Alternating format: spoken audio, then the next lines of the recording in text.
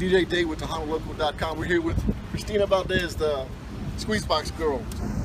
Hello, everyone. Uh, first of all, Christina, uh, I'm new to TejanoLoko.com, and uh, how did you get into the music business? Well, I've always been, I've always grown up around music because of my dad. Uh, he's had his band for, he was in a band for many years, so like I was always around music. They would always be practicing at the house, or like I would always go see him perform, and I just like I thought that was really cool. And then I, I don't know, I had something for the accordion. I was like, I want to learn accordion. I would always look at his his accordion player, and actually he's the one that taught me how to play. He gave me lessons, and yeah, so I went with Juan Lugo. Awesome, So I awesome. started from there. So, what are some of the challenges that you have faced in the industry to this far? Some challenges mm, would have to be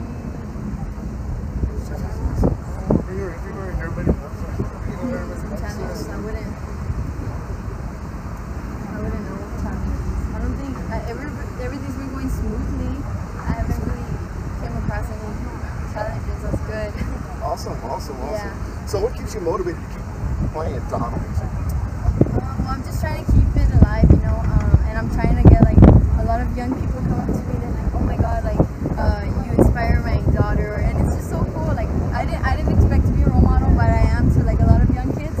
So I think that's really cool, and it's awesome seeing like younger people get into the music industry as well. It's Awesome, pretty cool. awesome. Yeah.